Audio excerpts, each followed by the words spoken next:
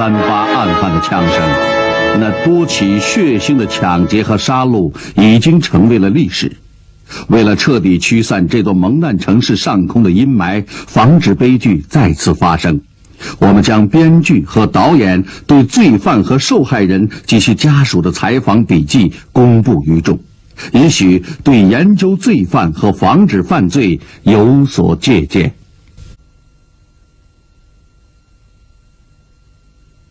做一个那种那个社会心理学的研究啊，我觉得应该去总结点经验。咱们那个以思警示后人呢，是不是啊？就我说有些话，咱俩就平心静气的，咱俩就呃聊聊。好比说你现在原来是工人，因为你下乡了，最后清点清回来了。对。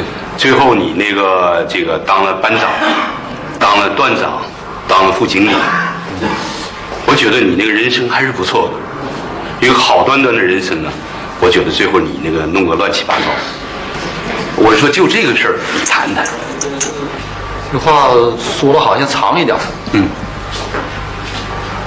嗯。我原来在这个，就中学毕业之前，那个时候在咱们在这个学校的时候，名声就不好，反正是好事儿。没有你，我我轮不上。嗯，反正坏事呢，开批判会了，我觉得这事儿反正一般我都躲不过去，躲不过去。嗯嗯。正赶七零届毕业，当时四个面相。嗯嗯。是我自己对我自己也有个评价。嗯。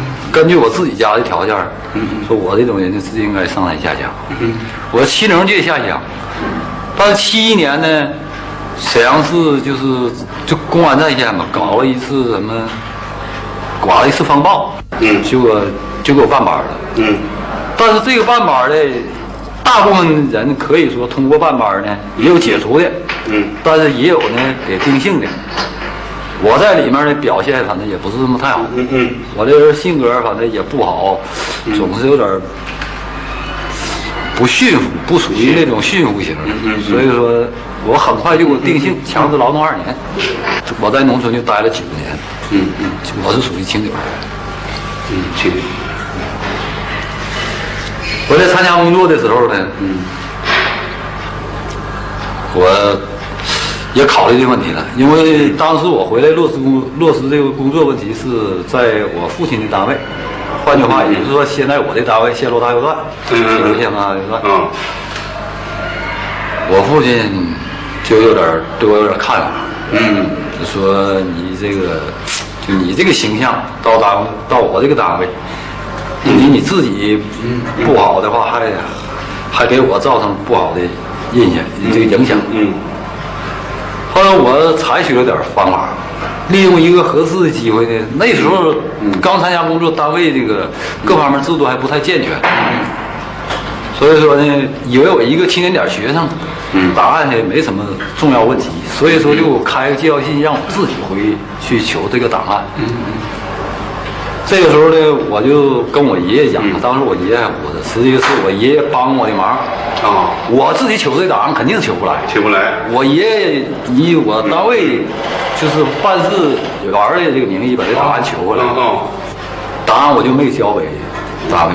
嗯，交给烧了。嗯嗯，烧了以后，这个在单位呢，我就可以，这说实在，家里一个装好人了。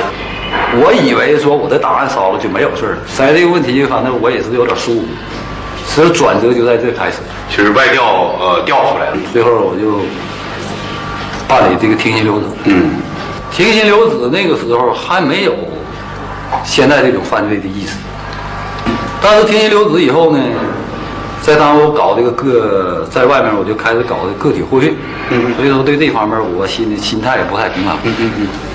随着这个商品经济的不断这个发展，嗯这个有些人很发达，生活水平也不断提高，像我这个生活水平总觉得处在底层，嗯。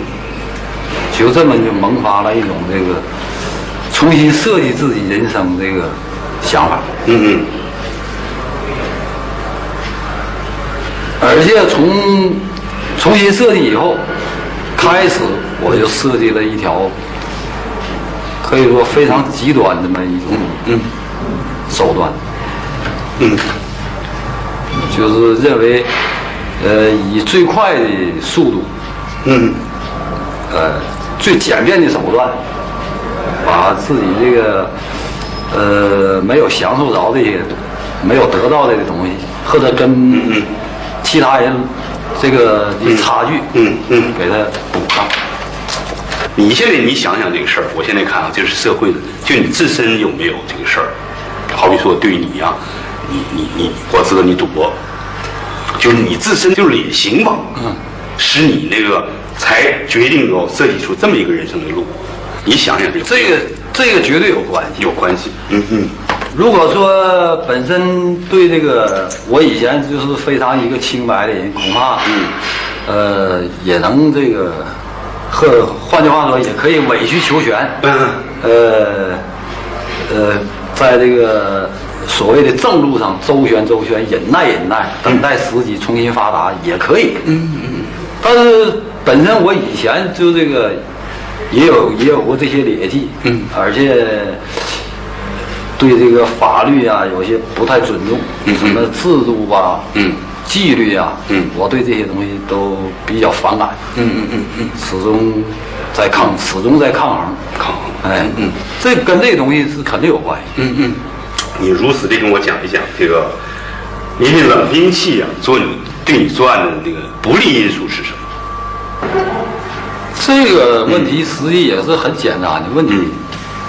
嗯。因为第一呢，首先从我这个设计犯罪的时候呢，就是设计的目标比较大，嗯嗯而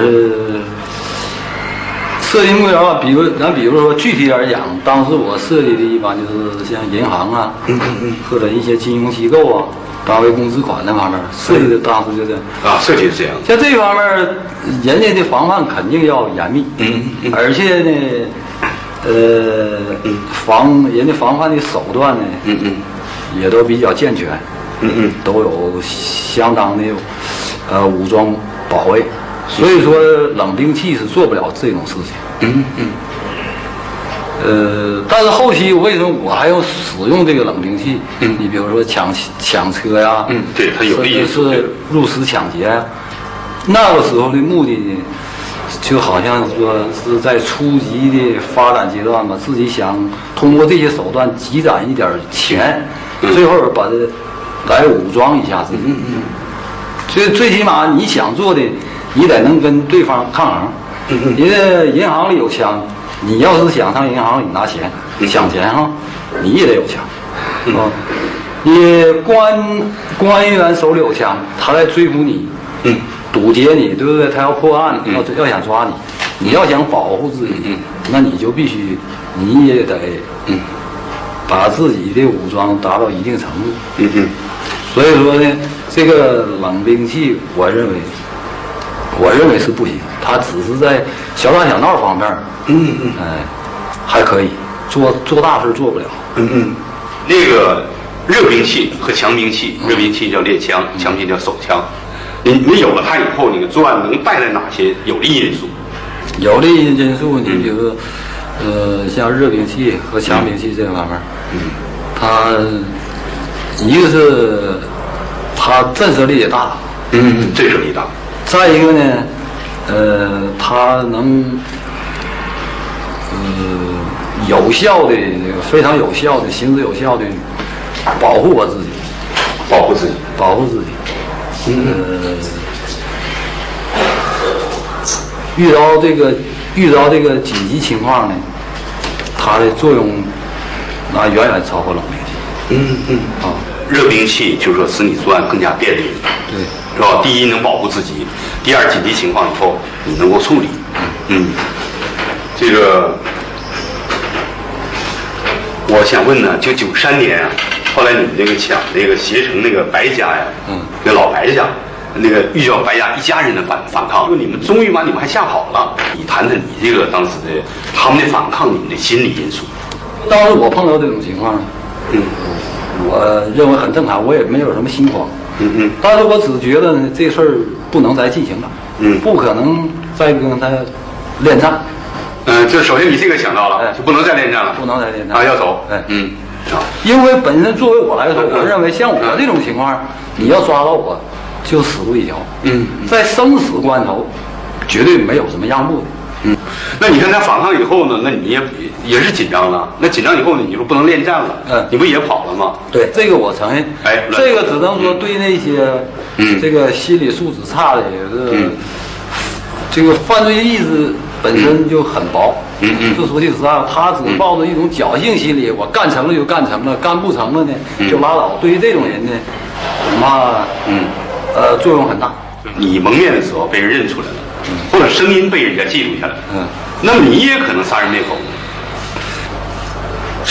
这个如果要说啊留句有用的话讲话呢，嗯什么有什么就认为我是认为有用的，就是说，如果要碰到这个不蒙面的，嗯办这类抢劫案，嗯，应该反抗。应该反抗。他不蒙面，嗯如果要说你不反抗，有可能他也要灭口。呃，现在我想，因为你杀害了很多司机，这个出租车司机啊，你再给我讲讲他，你还留下有用的话，就是说他反抗好还是不反抗好？出租车司机几乎，嗯你要让我说真话，那就只有反抗。只有反抗。嗯嗯呃，这是从我这个角度讲，嗯因为你也知道，我用我杀害出租车司机，目的是要用他的车，用车。嗯但是这个车呢，嗯呃，嗯。要想在自己手里安全的使用一段时间，嗯嗯虽然时间很短，一般我用车嗯嗯。一两个小时，嗯。最关键的时候用可能是，嗯，就真正起到用处的时候，可能是一两分钟。一两分钟。嗯嗯嗯。为了安全使用这台车辆呢，嗯嗯。那就必须得灭口。嗯嗯。所以说，从出租车司机遇到这种情况，嗯。呃，遇到就是类似我这种情况，嗯嗯嗯那你不反抗也没有用，嗯，他不反抗也是、嗯也是白输一条命。就是我觉得你这里边你们并不是很团结，包括你对王文旭、对王家里、王家人，是吧？你们之间这个一些关系，看你看一谈。实际，实际在我认为当中，在就是在这个内部当中，这个关系是比较微妙的。在这方面，我这个我自自己觉得自己能力还是有限，嗯，就是没处理好这方面关系。嗯，从王维旭这个角度，咱们具体点儿，从王维旭这个角度，虽然说他拉入伙，当时我并没考虑到说谁的势力大，谁的势力小。嗯嗯呃，我在你的，我在这个团伙当中的，我的作用，嗯和我在他们心目当中形象和位置，我自己我也心里有数。嗯而我在那个初级阶段，嗯还没考虑到内部这个勾心斗角。嗯从什么时候开始呢？从发现对方有致命的缺点，嗯嗯而不是完全为了一点什么经济利益嗯嗯嗯或者性格的关系全抛开在外，嗯而且他这个本身的弱点呢非常致命。嗯。啊，具体点讲，你比如说，在咱们之间呢，呃，有个比较明确的规定，嗯。你有在抢劫当中有很多金银首饰，嗯。在处理金银首饰这方面呢，就再三强调要统一处理。但是王维旭呢，嗯。他没有按照我们这个约定这么办，他自己就是呃擅自的，而且非常草率的就处理了。嗯当时这个事儿不仅是我不满意，而且王家里也意识到这方面。嗯呃，说这个人呢，那就不能再跟我们一个团伙了，因为在他身上很容易出毛病。嗯。那个时候他已经参与到一起涉及到人命的案子，嗯嗯。就是他租来的车，嗯。然后把这个司机呢干掉，他也动手了，嗯。虽然说他不是他亲手杀死的，最后是我解决的，嗯但是他也牵扯到这块儿，所以也不怕他把这个事嗯。透露出去。嗯既然不怕他捅出去，我跟王家里就说了，那就是采取点儿比较嗯比较这个周全的，嗯，或者说是就是迂回的办法给他开出去。嗯嗯。所以说，我就告诉王家里和王家人，嗯我说呢，这个枪应该毁掉了，绝不能给他，而且继续留下来也没什么好处。要想跟他彻底的分手的话，必须把这枪处理了。嗯。所以我就跟他们就设计了一个角儿，嗯。就是在下一步研究的时候呢，实际我都我心里主张把这个枪呢毁掉，但是呢，我却不这么讲，而是让别人讲，嗯。也就是让王家营，可以无意当中讲，要不行的话，咱就把钱回来。嗯。虽然说让他意见不一致，发生争执，有的说要要扔，有的说要保存，有的要分，嗯。最后儿呢，争执不下的时候，嗯。再搞一次，三个人意见一致，嗯。一个人少数就服从多数，嗯。最后儿就演了一番戏，最后儿的结论是扔掉，嗯嗯最后儿就把这个枪扔掉了。嗯而且王维旭也不得不同意了，他认为说呢，也不可能给再给他了，嗯嗯所以说他也就顺水推舟了，嗯嗯他也就同意扔掉。这扔掉了，就跟他就彻底，嗯嗯就是划清了。嗯嗯，你说实话，你想不想我除掉他？就是这个思想念头有这个思想念头，并不是当时事情发生的时候就想除掉，嗯。而是就是在我们的团伙成立的时候就有这个念头。有这个念头。如果说认为对我们有威胁，对我们团伙有威胁的话，不管是谁，嗯。就把它除掉。除掉？但是他他这种情况经过分析呢，呃，用不着除掉，嗯嗯，就是采取点儿软手段呢，也可以，就是他本身也参与了杀人。对他也不敢轻易讲，所以说，嗯呃，其中刚才你也提了，就是汪家里、王家林，实际他属于什么呢？嗯他是知惊不知死。我总说他们就像属猪的似的，属猪的一捆就嗷嗷叫，但是捅刀的时候他并不懂。嗯我最后上广西买枪的时候，我也想了，嗯因为枪在他们手呢，他们那个说话的分量呢，可能好像地位就比我大了。最后我把我弟弟扯进去，也有这个关系。嗯嗯搞一下均衡，在这团伙的势力要均衡一下。虽然均衡呢，但是枪支在他们手上，他们说话的，就是好像这个呃分量就比我重。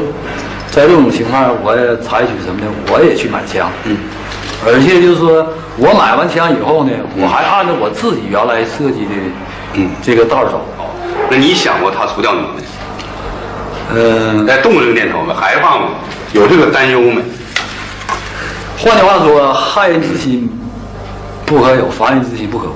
嗯在咱们内部就是，呃，基本就是这个原则，嗯是吧？嗯从我来说，我不是没考虑过这个问题，嗯而是考虑过，如果要说我对他们有威胁的时候呢，他们也可以采取这极端手段就把我除掉了，对不？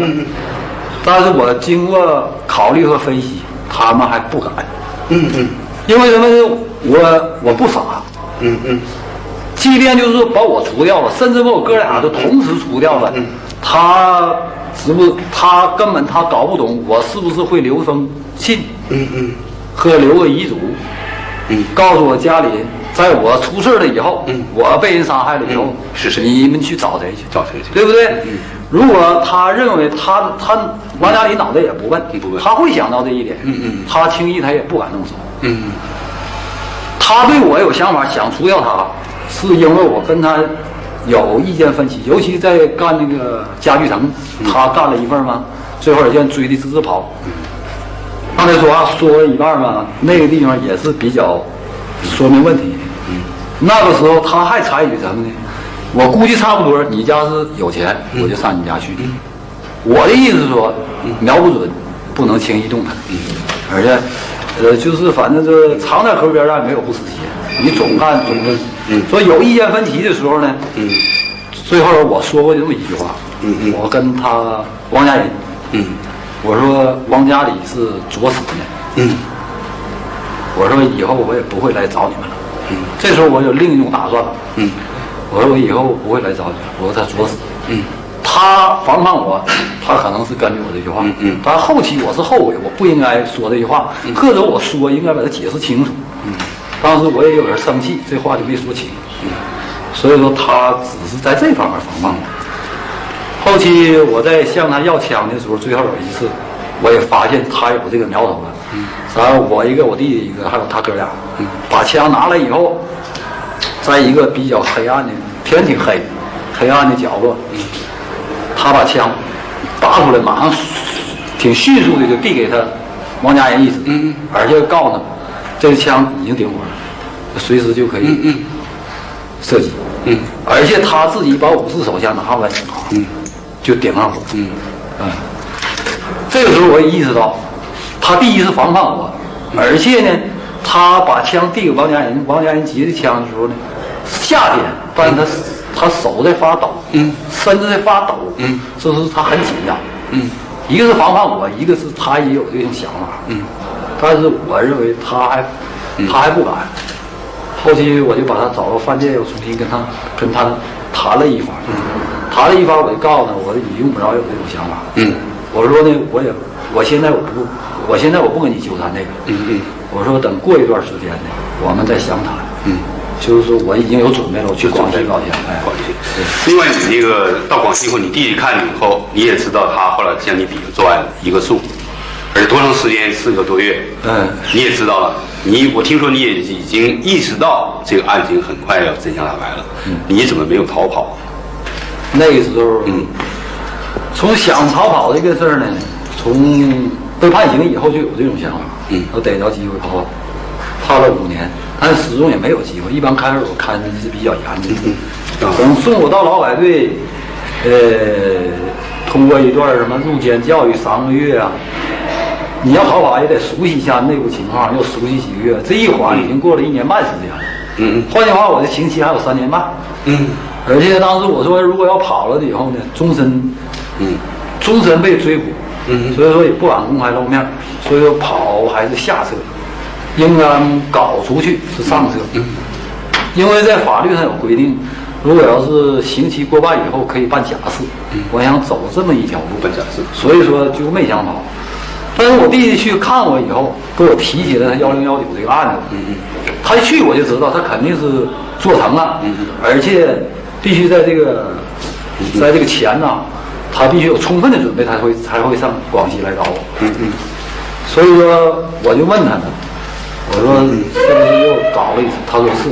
嗯嗯我也告诉我这一百万，我因为我我就问他，我说这个活儿这次活儿干的怎么样？漂亮吗？嗯他说还可以吧，很迟疑。他说的很迟疑，还可以，挺勉强。当时我就觉得这个事儿不太好，然后我就问他，因为我走了以后，在他们这几个人当中呢，王家里的经验是比较足的，嗯哎，所以我就问我说王家里当时怎么看这个问题？嗯而且有什么反应？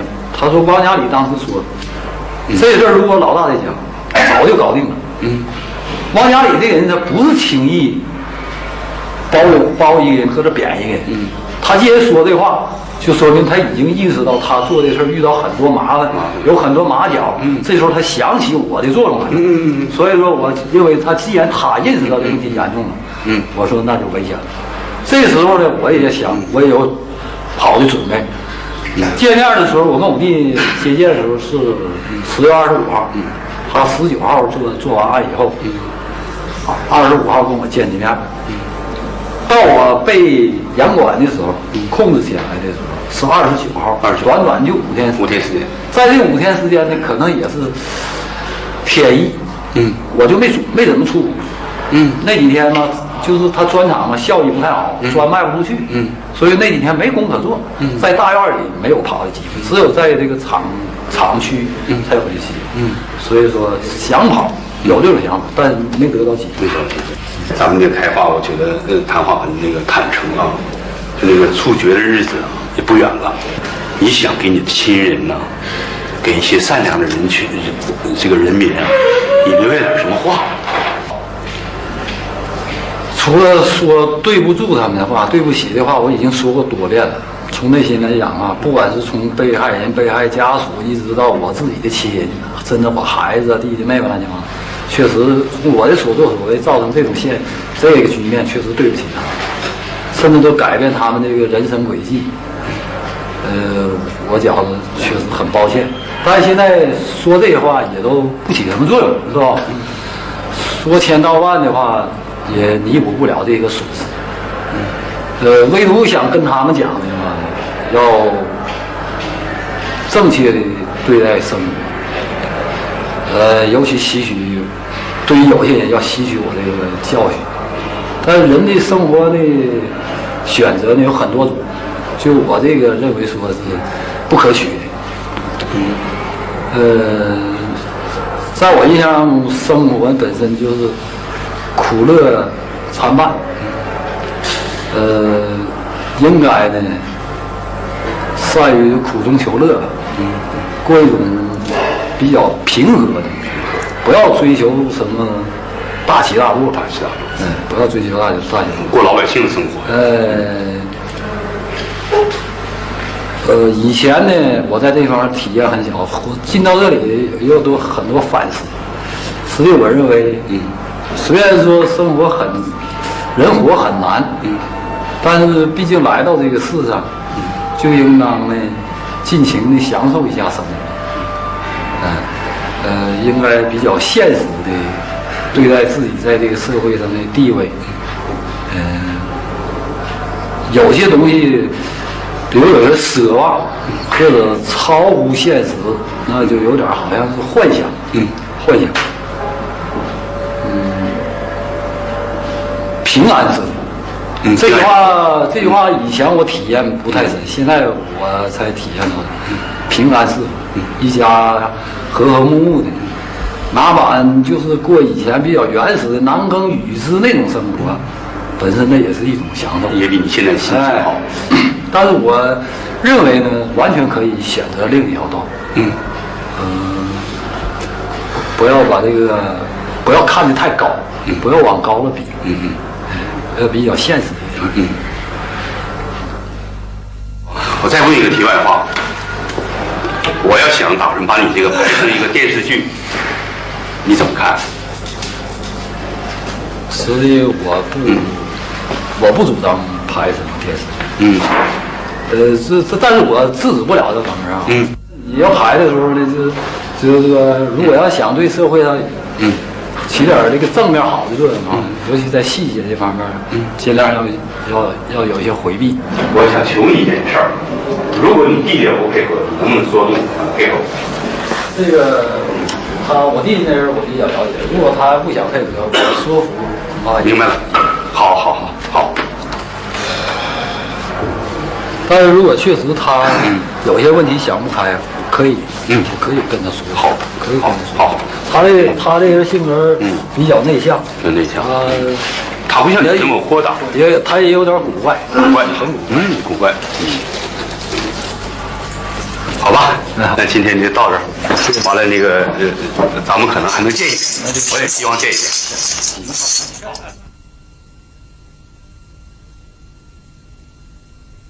我第一次见到你的时候，我记得你说了这么一句话，就是学坏了就是几年的功夫，而且有一个可以说和美的家吧。在这种情况下，你怎么走上犯罪道路的？这个课题挺难，挺难，嗯，也不是三言五语就能说的完。嗯。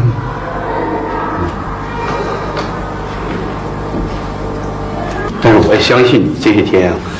因为你有大量的时间去思考人生啊。但是我现在我不往后去想了，不往后去想了。嗯嗯。我说的后吧，就是我明白，就是过来的事情，我不想去。嗯，也没有用，没有必要，也没有必要。啊，孙德林说的这么句话，他说现在想啊，还是做老百姓好，还是做普通人好，不要那种大起大落。平淡是福啊，这是他原话。我说你有没有这种想法？现在我的心情，我就是什么呢？他们有些时候啊，就像这个号的人啊，说大哥你现在做梦，嗯，啊，我说我不做梦，不做梦，嗯，哎，不做梦，嗯，说明你其他你都不想了，我不想，嗯，我现在脑子里边就是个空，等待我就是枪声，就是枪声，嗯，是不是？哎，所以高燕提我的时候，我就说，我说希望快一点。嗯，你抢劫这些钱啊，你用在生活上很少。嗯，你个人消费很大，是，是不是？你好比说找小姐，是吧？抽好烟，这个喝点酒，呃，等等等等的吧。我不知道你赌不赌，不赌。啊，那就是说你这样的生活消费，那你不是生活所迫呀，你还是一种追求一些什么东西。这个事儿呢，就是一旦间介入这方面的事情了，嗯，也很难收手。而且我听说你这个找小姐给小姐这个出手很大方，一次就一千块，有时候，就为这个花这个钱呢，去冒着这种犯罪的危险，你觉得值不值得？不值得。嗯啊，你刚才说了，你也信佛，佛以这个善良啊，这个仁慈为怀呀，你怎么就能够那个忍心呢？就下手，就那些绳子。这个刀是你们所谓的冷兵器，杀死那些无辜的司机。这个事儿吧，我在法外的时候，呃，嗯，可以这么讲，似信非信。嗯嗯嗯。换句话说，心还不是那么诚。嗯。呃，有些时候我也这样想，我说，要信佛的话，就应该做善事，不应该做恶事。嗯。哎。是吧？是不是？就是似信非信。嗯。哎。可是呢，自从到这里来了之后啊，我就悟出这么一个道理。嗯。什么呢？就是说是，哎，因果报应，因果报应，善恶有报。嗯嗯。哎，是吧？说善事有善报，恶有恶报。嗯嗯。当年我记得也是壮年，四十多岁的时候。你就把那些司机啊，就勒死了。啊，这个情况，我呼叫我和挣扎和你搏斗的时候，对你来说是一种，应该说你还是一种惊慌。当时要降不住对方啊，不管是嗯冷兵器也好，还是什么兵器也好，要降不住对方的话，那就是是一走了之就完了。啊，我说你在那个华强四小区啊，那个董家，你遇到人家反抗，而且啊，对方。拿着，甚至不是你，是因为你你你弟弟进了屋，一下把门带上了，结果你进不去了。结果那个那董家那个人呢，司机他就拿着菜刀，就是就是应该说反抗了，就从另一个门跑出来了，跑出来拿着砖头跟你们敌命。后来他提出来这个井水不犯河水，然后你们撤走了，是吧？这事儿平息了。你们怎么知道他没有报案？你为什么回去以后又去？点了他的汽车，他报没报案我们也不知道。那一个星期去的，啊，过了一个星期去的。就是我问你这个目的啊，我也是叫这些这个曾经被抢劫过，但是这个这个没抢劫成功，他报案以后再去怎么防范犯罪？我想做的这么一个调查研究，你给我想想这个事儿，他应该怎么办？但是给我的印象，暴力犯罪。他不容易防范，嗯，不容易防范，嗯，嗯嗯，就是什么呢？他在明处，嗯，我在暗处，在暗处，啊，嗯，他不容易防范，嗯嗯，他不知道对方什么时间出现，嗯嗯，交手了，你说他是反抗好还是不反抗好？我认为还是不反抗好，为什么？他不反抗的话吧，是吧？他这个手头有有点钱，是吧？哎，我们拿到钱就完事了，嗯，是吧？反正是避免引起更多的伤害，嗯。哎，但是现在有这个问题了，那些出租司机那基本都没有反抗啊，甚至有的说我还很年轻，我车也给你们了，那你们就饶我一条命吧，那你们还怎么把他杀死了？这个事儿吧，就是说是，我们我们抢他的车，知道？是通过他的车去作案去，嗯嗯，哎，司机留活口，他必然报案，嗯嗯，嗯嗯，哎，他一报案，我们就，他这车就不敢用了，嗯嗯，是不是？嗯嗯，所以必须那个。那我现在就总结了，作为一种那个呃受害人吧，我认为还是反抗好。因为反抗以后，至少你害怕了，你跑了，我觉得你们是不是还是有一种恐惧心理？嗯，这倒有。嗯。就是说，辰光僵持时间长了，对我们不利。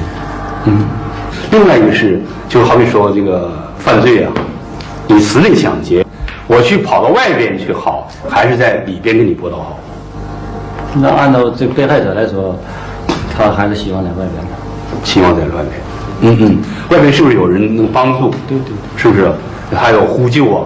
另外一个到外边以后，你们本身那个犯罪分子的心理本身受到了影响。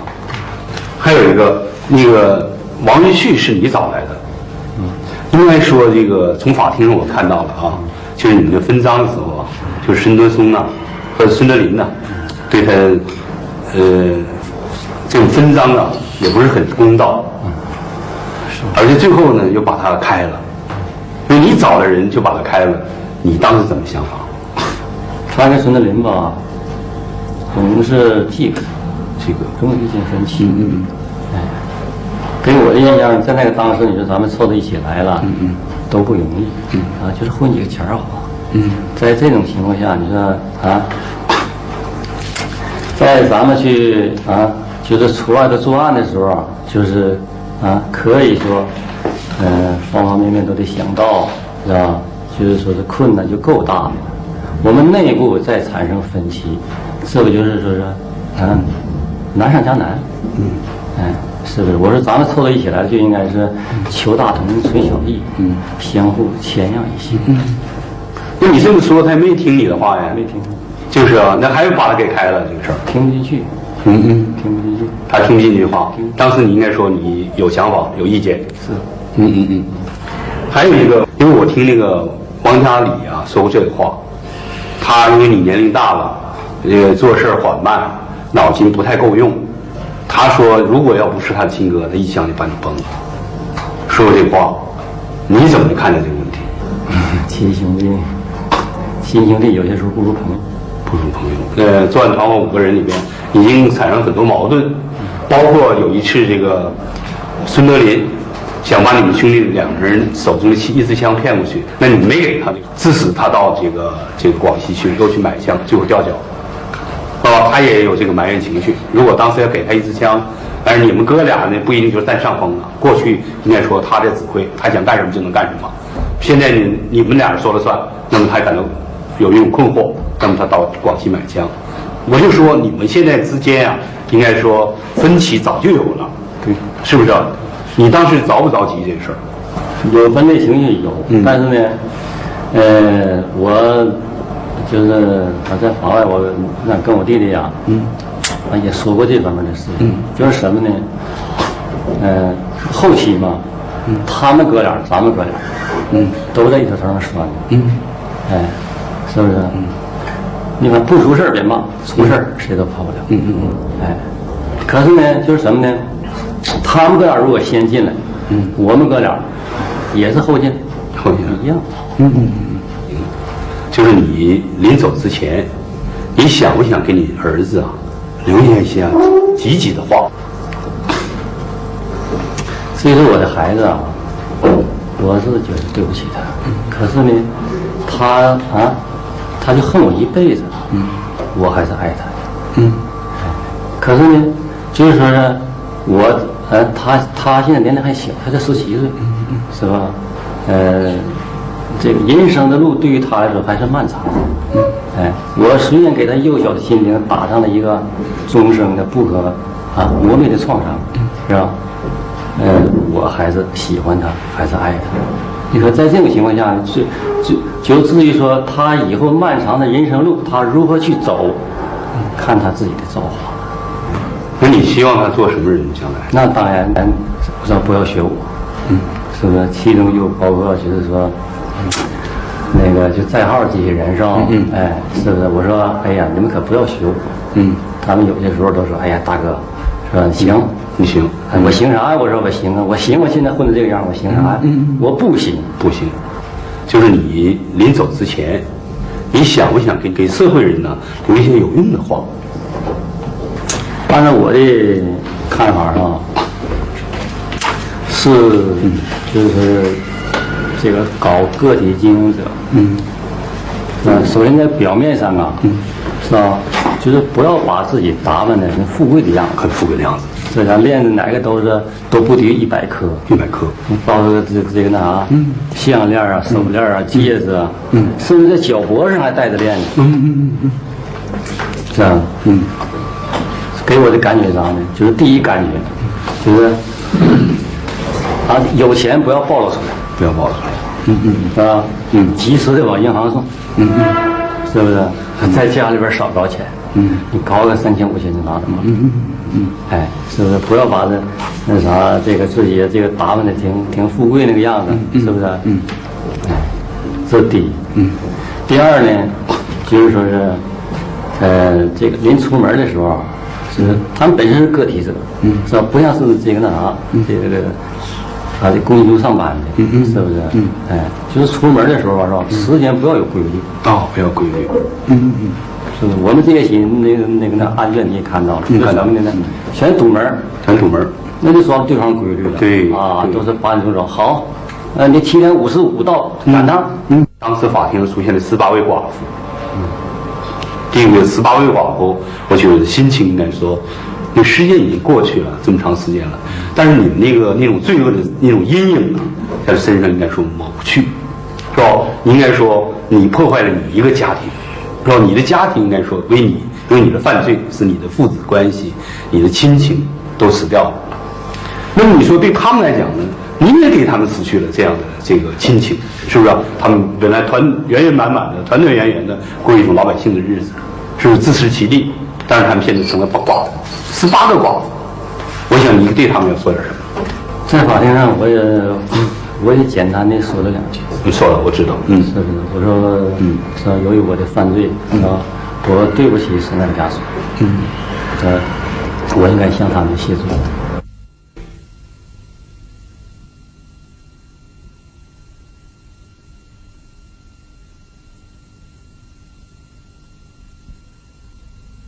俗话讲吧。要是现在何必当初？你给我说说，就是你现在的心情，就是这种，应应应该说挺后悔的吧？人家走这步，是不是？后悔没有用了，后悔没有用。这就是，其实还是人生都是一步一步走的，自己走，自己走的。嗯嗯。要是怨谁，没有必要怨谁。嗯嗯。怨谁有什么用？因为你好比说，你抢那个携程的白家呀，那老白家那个那个那个妻子，呃，丈夫、儿子，嗯，都跟你去去去抵命。他反抗以后，你们应该说是不是害怕，还是紧张？不害怕，应该这么讲。你们不害怕？嗯。因为手里有刀枪，嗯，反抗只能他倒霉，嗯，其实论起来呢，我们只能白做一次，嗯。嗯，所谓的杀的人，是我说实话，嗯嗯，都是遇到了反抗，嗯，如果在外边呢，咱们把这个情况啊，假设如果不是在室内，在室外他们反抗，你有利于没？那我。也确实遇到过这事嗯嗯。嗯，他喊叫，嗯，楼底下都围上人了。啊。嗯嗯。当时呢，只能说是有多钱也不能拿了。不能。嗯嗯嗯。就是说，嗯，快走。嗯嗯。你想洗手不干了，过这个一种这个老百姓的日子。但是现现在看吧，你们互相牵扯，这五个人。谁也停不下来，而且这五个人呢，应该说你们还有矛盾，这个你们回避不了。我说你们对你们这个矛盾，你们怎么想的？要论起来矛盾呢，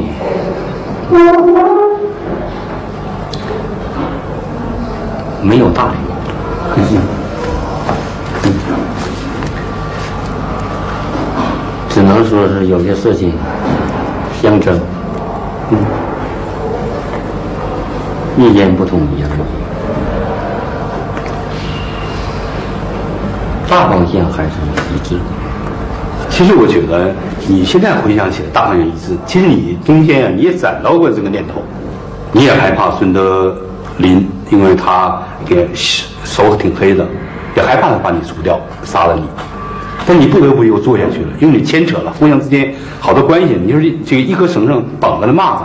谁也蹦不出出去，像你说，谁掉脚，另一个就掉头。对这个事儿，当时你具体你你心灵，你说你心灵深处你怎么想？的告诉我。这个当时不是没想过，而是嗯，很快就打消了，打消了。嗯因为都拴到一起。嗯，谁在就是这几个人当中，嗯谁在社会上消失，嗯别人也不能得好。嗯嗯，你对那些现在正在犯罪和想成为犯罪的人、罪犯的人，你想说几提示他们几句话？你想说什么？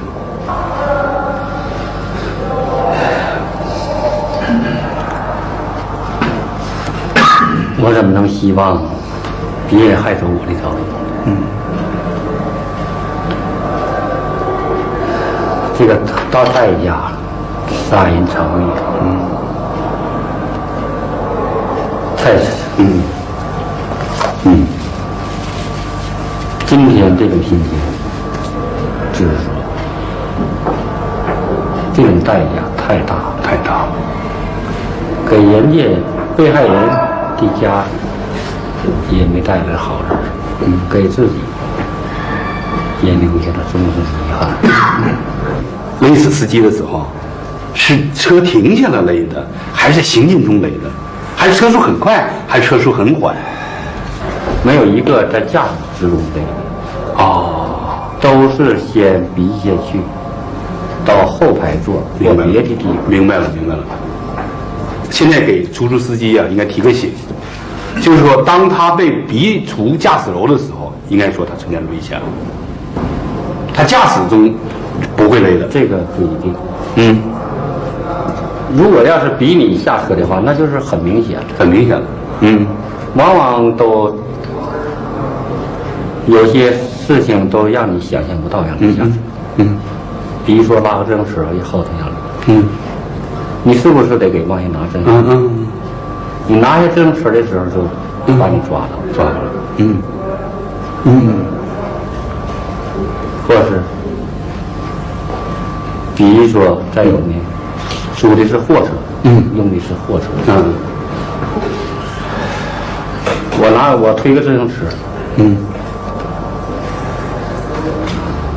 我装渠，哦你司机是得帮我把自行车拿到货车上。嗯嗯嗯你到了指定地点，你是不是还得把我的自行车拿下来？嗯嗯嗯，你拿下来了，你就来后头。在后边。这个当时也就嗯嗯动手。嗯嗯。那你说他们怎么能防范你这样的犯罪？你给他们出个主意，自己只能勤观察，勤观察分别什么样的类型的人。人。嗯但是有的人也很巧妙，也很难观察出来。嗯嗯嗯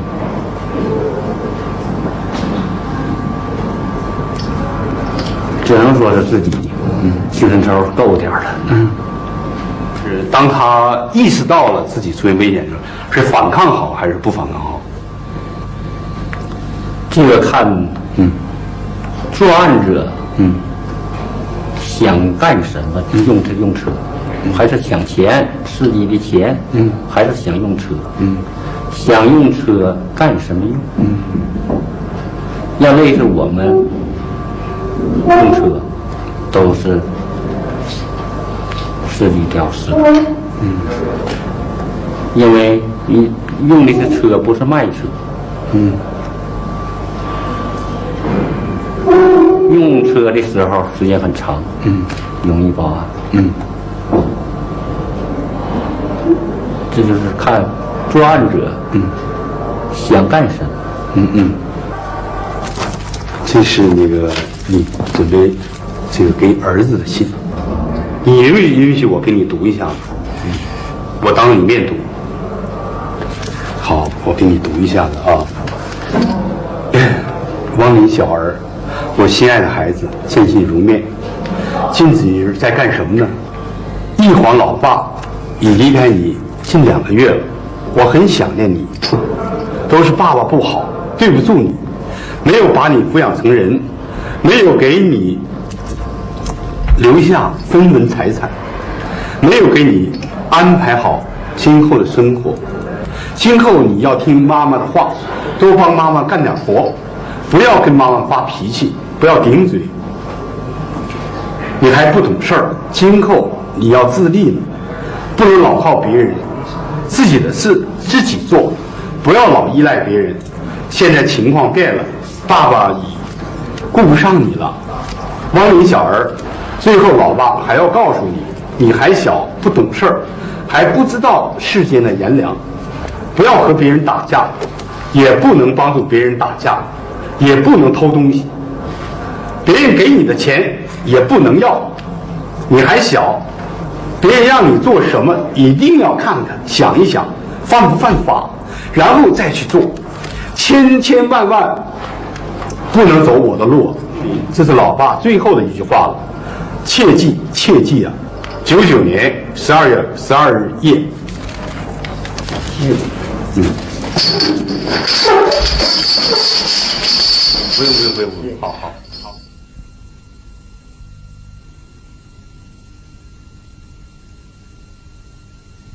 假如你重活一回，你要总结出这种经验，而去不成为罪犯，有没有可能？也不是没有可能，很有可能，有可能。但是怎么说，活的他妈也没什么，也没有什么责任好，也不能太好，所以说也没什么意思。从我的印象就是这样，人嘛，活着。活着不痛快，那那不如死了。咱们咱们咱们回忆一下咱们过去走的路，说好比几个点。嗯，我知道你哥哥，这个这个这个孙德林，为你这个下水非常后悔。我说你可以你不后悔，但咱们追溯一下，你要避免哪些环节，你今天就不是罪犯。现在没这些环节也都往往都不是我造成的，是不？都是社会造成的。嗯，哪件事情是社会造成的？我是单位吗？那他不开支，他开不工资了，那有啥的？没钱，没钱，没钱怎么活？你蹬倒骑驴，开个三轮，一样拉货，一样能活。如果你没有赌博这个经济这个这个开销，你没有找小姐这笔经济开销，那么我说你那个，你不至于这个经济这么巨解吧？对我来说，我也可能我现在是脑子里边一片空白，啥也想不出来，啥也说不出来，嗯，比较空白。你回来以后分配工作没？分配工作了，分哪我当兵去的目的就是为了回来找一份工作。你有了工作，那你干嘛不去做好的工作呢？工作做的也可以，嗯工作做的也可以，但是你这个社会环境变了，嗯，社会环境变了嘛，是不是？后来单位就不行了，也不景气了，嗯现在单位都黄了，嗯，整个就完蛋了。你那个单位黄了以后，你从来什么事儿没干过吗？嗯，就什么那个自食其力的事儿也没干过吗？挣点钱啊、那怎么？干过，啊开过饭店呢、开过商店呢，都不挣钱。做这么多自己自食其力的事情，一个也没找好自己能做的事儿，没有，没找好。那么后来你有钱了，你为什么还要去？你你钱来的不容易啊，就是抢劫，我认为也来不容易。那你为什么还去你那个赌博？你去找小姐呢？那你走上这道吧，讲话这就是 有今儿个没明儿个嘛。你大哥把你领上了这个犯罪道路，你现在后悔不？我对他没有什么感觉，我从来也从心里从心理上讲，我一点不呃埋怨他把我带到这条道上来，是吧？完了一样。刚开始在这他在他没带到我这个道之前呢，实际上来说呢，我也有这个想法。嗯，而且在在这个他没带到我，没把我带到这来之前，我带着他不搞了一次诈骗，嗯嗯，搞了一次诈骗，诈骗反正也挺累，挣的钱也不多。嗯，我听你哥哥讲啊，就是说想来钱，心里面啊太怯了，是，是不是啊？就想那个快点来，呃，少付出多收获，是不是？你有没有当时你这个思想？有有这思想？有这思想。嗯嗯嗯。曾经也做过几次生意，都失败了，都失败了，一看做生意也不是那么好做，是？嗯，觉得那就得觉得这条道还是能快一点。嗯尽管说是犯罪，也是一种侥幸。嗯，那你那个杀了第一次人以后，你害怕不？当时没有什么感觉，当时没有什么感觉，晚上回家有点心里边感觉有点不太得劲儿。你犯罪当天干什么？犯完罪干什么去了？犯罪当时杀完人就去抢嘛，没抢着，完了把车一扔了就完事儿了。嗯，不，完了以后完了以后我就玩儿去了，干什么玩儿去了？赌钱赌钱，赢了输了，啊，赢了输了，输了。嗯，输了以后，你那晚上睡觉睡得怎么样？那天晚上睡觉睡得不太好，不太好睡，得不好。躺在床上老是想这个事儿。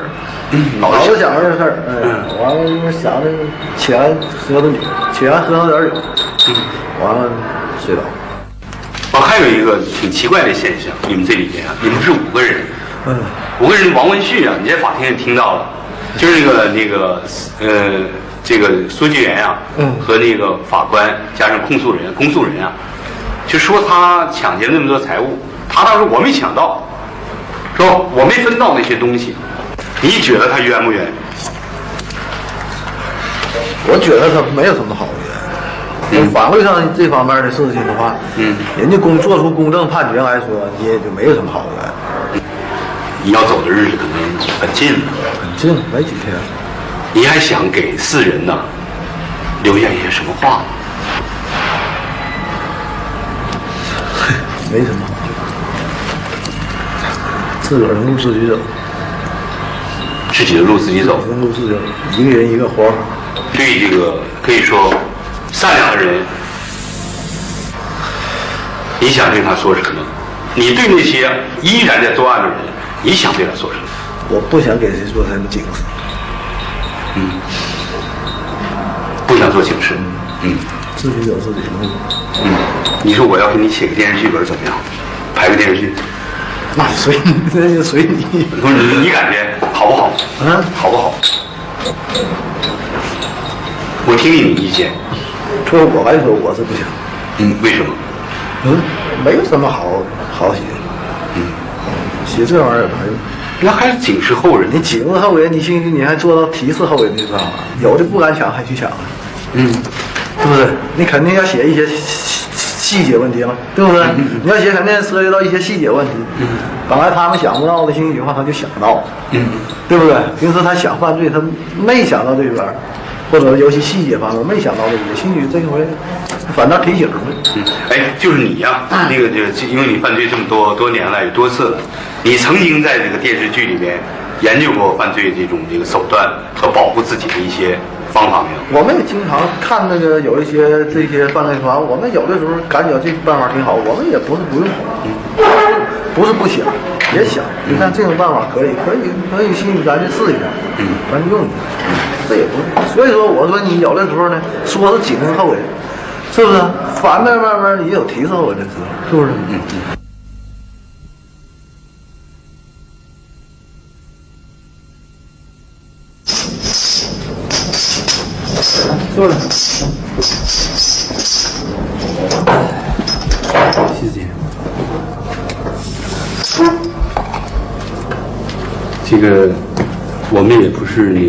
第一次见面了啊。就我，我觉得你的情绪一直不太稳定，这个而且思想负担挺重。但是那个审判那天啊，我可以给你透露点情况。就我看到你女儿跟律师谈话了，她在那个那个审判厅的外边去跟你的律师谈话，她希望无论如何要保住你的命。你跟我说这些什么目的？不，我想啊，追逐社会你能保住我的命吗？你能你能你能满足我女儿的要求吗？我不要求嗯什么活命，嗯，可以吧？我回去吧。我以为我以为提审呢，提审我就正常接待。我我不是我是批审，那天来了个啥？来个来了个作家，嗯嗯嗯，你心里也挺挺挺反感的，我看了就是没什么想法。嗯啊，我已经麻木了。麻木了。哎嗯嗯，不，我说啊，咱们就说就我现在扯到三妈的案子上，你给我判死刑，我都不上。你有一个问题，你知道不知道？因为我不知道你懂不懂法，我不懂。就是你入室抢劫和不入室抢劫对你量刑标准不一样。那你现在三八也好，还是嗯还是嗯这么多案子好，我都没做。我和他一样死刑，是严肃的。为什么跟他唠的？没什么唠的。不，你先坐下？哎，你哎，我说我不我有有回避的权利。教你有什么话吧，你该吧，发牢骚你就发牢骚，就唠一唠。不是不是不是发牢骚，我发啥牢骚？我有啥牢？我现在都死人了，我是属于活死，我发啥牢骚？你看，就是这不是什么官方，都是这咱说这个这个的命运呢，在你你女儿身上啊，应该说是一个永远挥之不去、抹不掉的一种阴影。他作为一个父亲来说，他耻辱；但是作为他作为罪犯，他耻辱；作为父亲，应该说是他深深的是爱着你，是眷恋着你。你看他在那个同那个律师谈话的时候，我记得他谈得很认真，也没有一种那个那种那种那个面部的表情是喜喜怒哀乐看不出来，很认真。当当一判处你死刑，你说我不上诉，他的泪一下子就流下来了。这我看着真真切切。你女儿当时穿个裘皮大衣，就你作为父亲，我说不但那个时代你缺乏了养育之恩，你欠他的，现在你还欠他的，而且我认为这个欠，恰恰就有些问题，你总是这么样处理。这问题处理你，而且这里边你五个人里边，你的文化最高，你是中专毕业，你是有文化的人犯罪，给你的女儿，给你的家庭，你带来了多少不幸？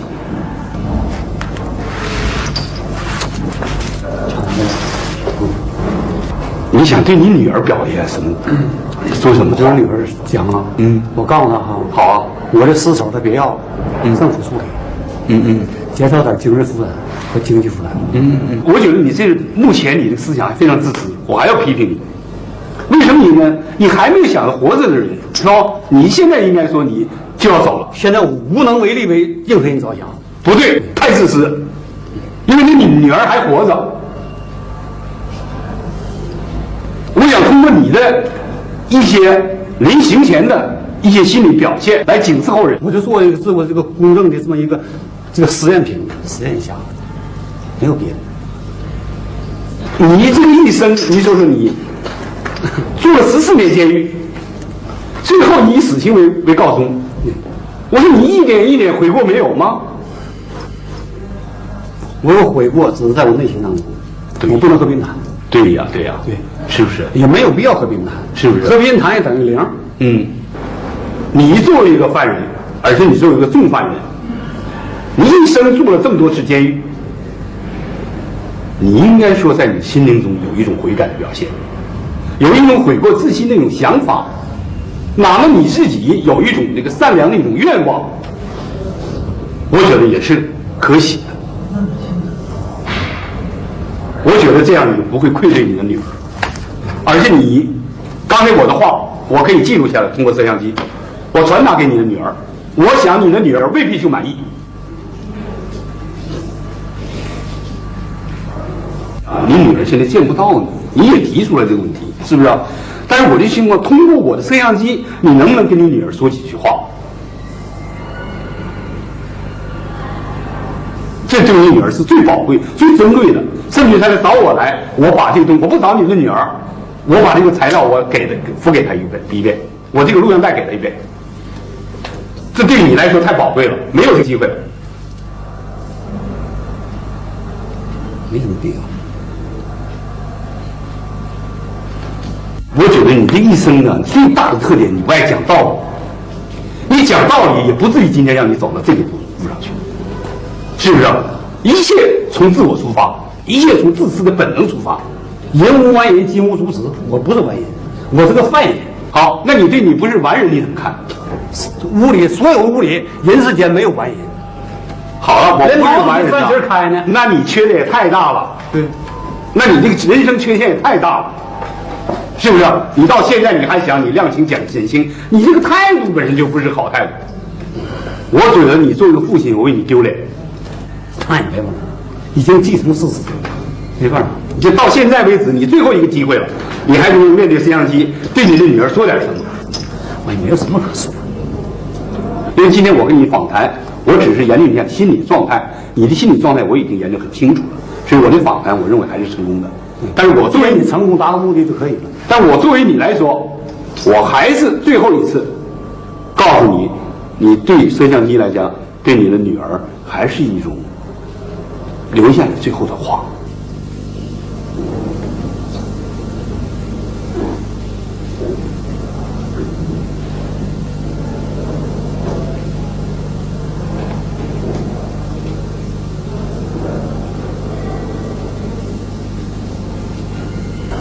你作为一个已经没有希望的人，你为什么不对一个有希望的人在精神上解脱他一下？我女儿理智健全，恰恰是你在他的那种善良的心灵上，你蒙上了一层永远抹不去的阴影，一种耻辱。事实是这样。那就是说，你不想留给他什么话了？没有什么可说的。好，咱们今天到此。